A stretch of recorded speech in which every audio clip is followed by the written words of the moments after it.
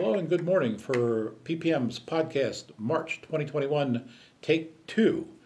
The reason for this one, even though we literally just did a podcast a few days ago, was we got a call from one of our instructors questioning uh, coming up for her monitor, where she said the new video, the new Heartsaver video, talks about using the heel of one hand on an infant. Yeah, not a child, on an infant.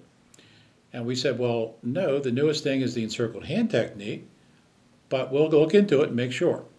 So we pulled the video up, and sure enough, the video talks about two fingers, encircled hand, or the heel of one hand on an infant.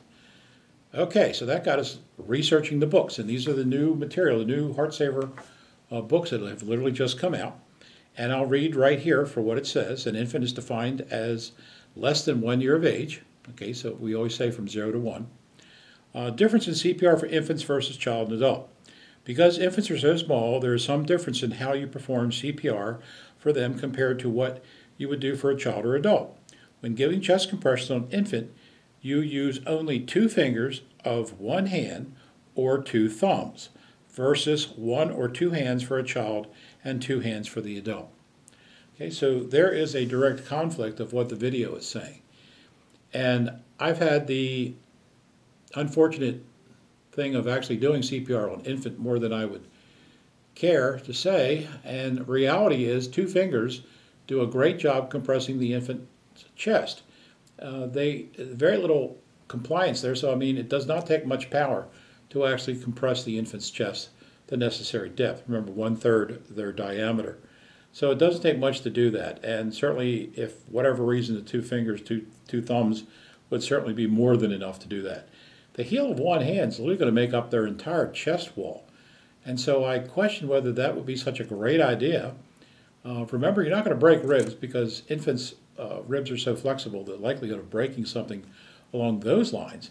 But certainly the possibility of going way too deep in your compression on an infant is certainly a possibility with the heel of one hand. So I, I question that. I want all my instructors to really be thinking the two fingers as the primary method to do this. Uh, encircled hand technique, if for some reason you can't manage to get that infant's chest to go down. But in all cases, I find it very odd that you would have to use the heel of one hand. And we're going to look further into this, but I really think that's a mistake in the video. And I'll go on record as saying I think that's a mistake in the video. Okay, but bottom line is two fingers does work. Circled hands would work. Um, question whether or not you even want to show your students the use of a heel, single uh, hand trying to compress an infant's chest. Okay, so we'll let this go here. I'll get back to you later as we get more information from Heart because we'll be questioning them directly uh, and find out what they're thinking about this or what the logic was for saying the heel of one hand in their videos. Okay, so that's where we're at. And again, we bring these podcasts to you as we find out things, things pop up uh, because it's important to get this information directly to you the instructor. Okay?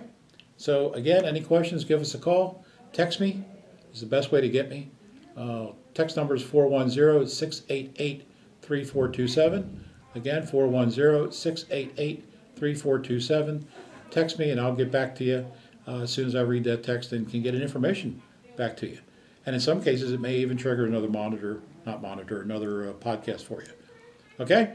So that's everything, and I'll be back to you soon. Take care.